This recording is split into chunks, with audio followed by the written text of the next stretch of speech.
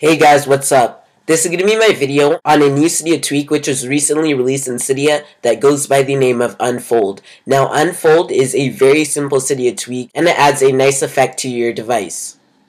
Now once you go to your lock screen you can see that it says fold to unlock and that is what it allows you to do. So you simply can fold to unlock.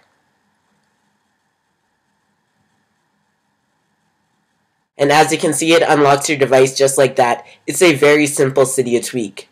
This is much like the animation of paper folding and you're unlocking it. And this was a concept that was brought to the iPhone and it's finally in a Cydia tweak.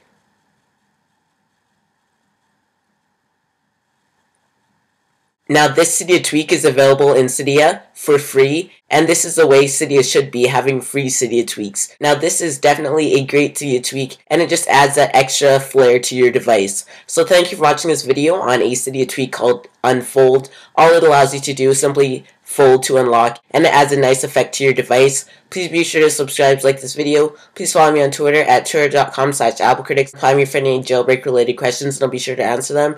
And also, feel free to iMessage me at applecriticsyt at me.com, and I'll be able to provide jailbreak help if needed. Also, feel free to like my Facebook fan page, drop a comment down below, and thanks for watching.